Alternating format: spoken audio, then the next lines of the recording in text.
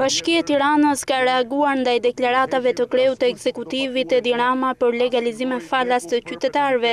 Përmes një njoftimi për shtyp Bashkia e Tiranës i cilëson qesharake deklaratat e kryeministrit Rama. Paaftësia e ka bërë jo vetëm gënjeshtar, por edhe qesharak Edi Ramën. Sot i qau hallin ish-nënkryetarit të tij të Bashkisë së Tiranës se nuk e ka të hipotekuar pallatin, është bërë për të ardhur keq se nuk di dhe më dhe çfarë flet. Po pse për njëmbëdhjetë vjet zoti Rama nuk e pajisët me hipotekë pallatin e Lamës?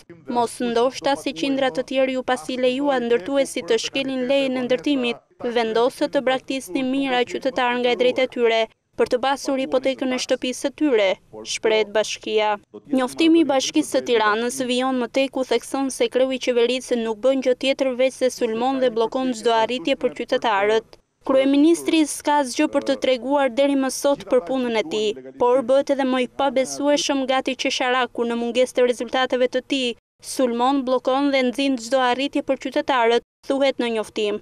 Ndërkohë Bashkia e Tiranës i kujton kryeministrit Rama se ka pajisur me leje përdorimi njëqind e tetëdhjetë objekte, duke iu mundësuar mijëra qytetarëve të kryeqytetit marrjen e tapisë së shtëpisë dhe kjo thekson bashkia falë miratimit të aktit normativ për t'i dhënë fund ngërçit të krijuar nga papërgjegjshmëria e Ramës, përfundon njoftimin e saj Bashkia e Tiranës.